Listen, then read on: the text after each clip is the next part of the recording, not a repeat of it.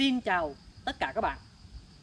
Âm nhạc có rất nhiều thể loại như là nhạc trẻ, nhạc thính phòng, nhạc ngoại quốc, nhạc cách mạng hay còn gọi là nhạc đỏ, nhạc trữ tình quê hương hay còn gọi là nhạc vàng, bolero. Mỗi người lại có một gu thưởng thức âm nhạc khác nhau. Cá nhân mình thì thích nghe và hát thể loại nhạc vàng, bolero. Một số bài hát mà mình rất là thích như là bài Thành phố buồn, Kiếp nghèo, Biển tình, Xin thời gian qua mau. Và nếu như các bạn có để ý thì tất cả các bài hát mà mình vừa nêu có một đặc điểm chung. Đó là của cùng một tác giả, cố nhạc sĩ Lam Phương. Một trong những nhạc sĩ nổi tiếng và tài danh nhất của nền âm nhạc Việt Nam. Trong video ngày hôm nay, mình và các bạn sẽ cùng đi tìm hiểu về cuộc đời sự nghiệp của cố nhạc sĩ Lam Phương và viếng thăm nơi ăn nghỉ hiện nay của ông ở Hoa Viên Nghĩa Trang Bình Dương nha. Mình đang có mặt ở Hoa Viên Nghĩa Trang Bình Dương. Địa điểm này à, thuộc phường Chánh Phú Hòa, thành phố Bến Cát, tỉnh Bình Dương. Nói thêm một chút về thành phố Bến Cát thì đây là một trong hai thành phố trẻ nhất của Việt Nam. Thành phố còn lại là thành phố Gò Công của tỉnh Tiền Giang. Cả hai thành phố này vừa mới công bố quyết định thành lập vào ngày mùng 1 tháng 5 năm 2024 vừa qua. Và sau khi thành phố Bến Cát được thành lập thì tỉnh Bình Dương trở thành địa phương có nhiều thành phố trực thuộc tỉnh nhất Việt Nam. Với năm thành phố là Thủ Dầu Một, Dĩ An, Thuận An, Tân Uyên và Bến Cát. Đây cũng là lý do chính để mình đặt tiêu đề video mang tính trừu tượng và ví von nơi đây là thành phố không buồn. Rất năng động, sôi nổi và phát triển vượt bậc qua từng ngày. Hoa viên này à, cũng được đánh giá là một trong hai khu nghĩa trang đẹp nhất Việt Nam rồi các bạn. Xếp ngang hàng với nghĩa trang Lạc Hồng Viên nằm ở tỉnh Hòa Bình. Nghĩa trang này à, cũng đang an táng rất nhiều người nổi tiếng và có nhiều ảnh hưởng như ờ, nghệ sĩ ưu tú Vũ Linh, nghệ sĩ nhân dân Thanh Kim Huệ, nhạc sĩ Vinh Sử, nhạc sĩ Lam Phương, vân vân. Rất là nhiều. Nếu mà kể ra hết thì chắc cũng hết thời lượng video luôn. Các bạn quan tâm thì có thể xem video mình đã từng quay về những khu mộ của những người nổi tiếng đang được an táng ở đây để biết rõ hơn.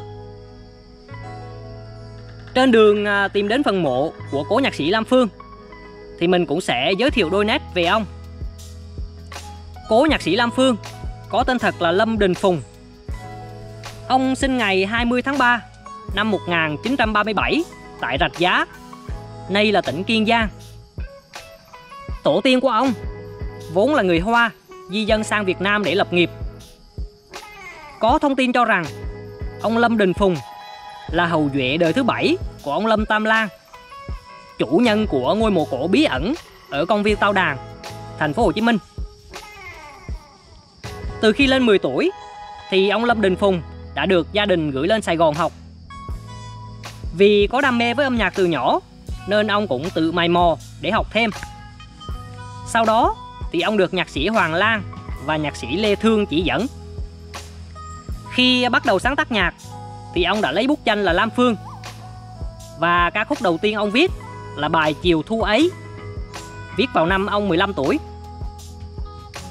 Sang năm 1958 thì ông nhập ngũ vào quân lực Việt Nam Cộng Hòa và tham gia vào à, các đoàn văn nghệ để tiếp tục với niềm đam mê sáng tác. Một số ca khúc phổ biến được nhạc sĩ Lam Phương viết trong giai đoạn này có thể kể đến như là bài Duyên Kiếp viết năm 1961, bài Biển Tình viết năm 1966 Xin thời gian qua mau. Viết năm 1967 Thành phố buồn. Viết năm 1970 Phút cuối. Viết năm 1971 Khóc thầm. Viết năm 1972 Tình chết theo mùa đông. Viết năm 1974 Đến sáng ngày 30 tháng 4 năm 1975 Thì à, ông và gia đình đã lên tàu Trường Xuân Để sang Mỹ tị nạn. Do phải thu xếp để đi gấp nên à, không kịp mang theo tài sản gì có giá trị. Khi sang Mỹ thì à, cuộc sống của ông và gia đình gặp rất nhiều khó khăn. Ông phải làm việc vất vả để kiếm tiền nuôi sống gia đình. Tuy nhiên à, cứ vào dịp cuối tuần thì ông cũng thu xếp thuê một quán ăn để làm sân khấu tạo điều kiện cho hội bạn bè văn nghệ sĩ có nơi gặp gỡ, giao lưu. Là một người nhạc sĩ tài danh với rất nhiều bài hát nổi tiếng, được đông đảo quần chúng mến mộ, nhưng à, xét về đường tình duyên thì à, nhạc sĩ Lam Phương cũng rất lận đận khi ông có đến ba đời vợ. Sau khi ly hôn với người vợ đầu tiên thì ông cũng à, chuyển sang Paris, Pháp để sinh sống một thời gian rồi mới quay trở lại đất Mỹ vào ngày 13 tháng 3 năm 1999 thì nhạc sĩ Lam Phương bị tai biến mạch máu não và bị liệt nửa người. Thời gian sau đó thì à, ông nhận được sự chăm sóc tận tình, chu đáo của gia đình. Cộng với vô vàng tình cảm rất đáng trân quý của khán giả mộ điệu nên ông cũng đã dần bình phục trở lại. Mặc dù à, sức khỏe không còn được như trước. Đến ngày 22 tháng 12 năm 2020 nhạc sĩ Lam Phương đã trút hơi thở cuối cùng tại Mỹ sau một thời gian dài điều trị bệnh tim và tai biến. Ông hưởng thọ 83 tuổi. Thi hài của ông được quan tại Mỹ. Sau tang lễ thì mang đi hỏa thiêu, rồi à, đến ngày 20 tháng 12 năm 2022 thì à, chuyển tro cốt về Việt Nam để an táng trong à, khuôn viên của Hoa viên Nghĩa Trang Bình Dương này. Đây là tấm bản thông tin lễ an táng của nhạc sĩ Lam Phương được dựng à, trước ngày 20 tháng 12 năm 2022 và đến bây giờ thì à, vẫn còn giữ lại, chứ chưa tháo dỡ. Ở phía trước này là linh hoa tuệ đàn, nơi lưu giữ, bảo quản những cái kỷ vật vô giá của nghệ sĩ, cũng là nơi à, đặt các điện thờ của các vị Phật và của các nghệ sĩ luôn.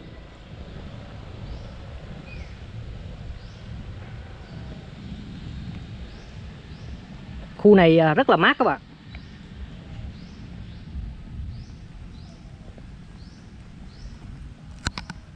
và phía trước mắt các bạn đây, chính là nơi ăn nghỉ của cố nhạc sĩ Lam Phương thông thường à, những người nổi tiếng sẽ được sắp xếp an táng tập trung trong một khu vực có tên là đường nghệ sĩ.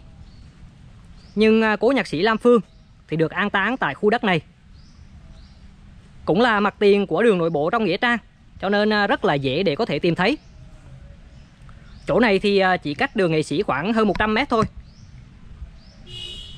Hầu như à, tất cả các khu vực có những khu mộ ở trong Nghĩa Trang này đều được trồng rất là nhiều cây cảnh và hoa đội ngũ công nhân thì chăm sóc và cắt tỉa hàng ngày cho nên nhìn cảnh quan tổng thể rất là đẹp mắt lúc còn sống thì à, nhạc sĩ Lam Phương luôn luôn canh cánh, ray rứt, muốn một lần được trở lại quê hương Việt Nam.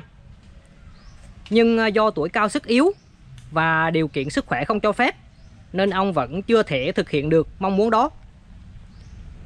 Đến khi qua đời thì à, gia đình đã thu xếp để mang tro cốt của ông về an táng trên mảnh đất quê hương, thực hiện nguyện vọng cuối cùng của ông. Thời điểm ông mất là vào cuối năm 2020 lúc đó thì có lẽ các bạn vẫn còn nhớ, đại dịch Covid vẫn đang hoành hành, nên việc mang được tro cốt của cố nhạc sĩ về Việt Nam cũng là một sự cố gắng và nỗ lực từ phía gia đình. Phần mộ của ông thì được xây hoàn toàn bằng đá hoa cương màu đen, sáng bóng, rất đẹp mặt trên của ngôi mộ thì có khắc chìm một khóa son, được sơn màu vàng kim. Rất là nổi bật. Phần à, bia mộ thì được khoét ở giữa để tạo hình một cây đàn guitar. Rất là sáng tạo và mỹ thuật các bạn. Đây. Ngay phía trên đây là di ảnh của cố nhạc sĩ Lam Phương.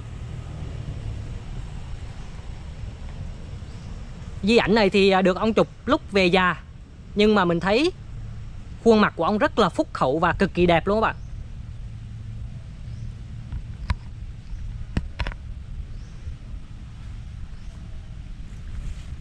Bên này là một số thông tin cơ bản. Ông Lâm Đình Phùng, nhạc sĩ Lam Phương, pháp danh Ngộ Trí Nhân sinh ngày 20 tháng 3 năm 1937 từ trần lúc 18 giờ 7 phút ngày 22 tháng 12 năm 2020 nhằm ngày mùng 9 tháng 11 năm canh tí tại thành phố Fountain Valley, California, Hoa Kỳ hưởng thọ 83 tuổi.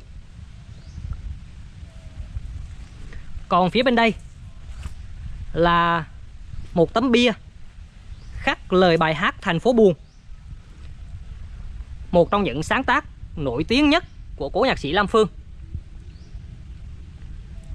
Theo một số liệu thống kê không đầy đủ, thì à, trong suốt sự nghiệp sáng tác của mình, cố nhạc sĩ Lam Phương đã viết tổng cộng hơn 200 ca khúc.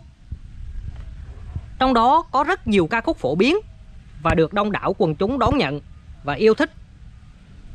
Thực sự là cả một gia tài âm nhạc đồ sộ. Ngay bên cạnh đây là phần mộ của ông Lâm Tòng mất ngày mùng 4 tháng 1 năm 2021 vì mắc Covid-19. Ông là em rể của cố nhạc sĩ Lam Phương. Ban đầu thì à, hai vợ chồng ông định cư và mở một quán ăn tại Pháp. Nhưng à, sau khi biết tin là nhạc sĩ Lam Phương bị đột quỵ thì hai vợ chồng ông đã chuyển sang Mỹ sinh sống để tiện chăm sóc cho nhạc sĩ Lam Phương. Sau nhiều năm xa xứ, nơi đất khách quê người, thì cuối cùng anh vợ và em rể đã được nằm an nghỉ cạnh nhau trên mảnh đất quê hương Việt Nam. Có lẽ đó cũng là một niềm an ủi đối với họ